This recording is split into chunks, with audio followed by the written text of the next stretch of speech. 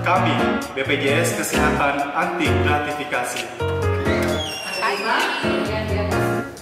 Pagi silahkan.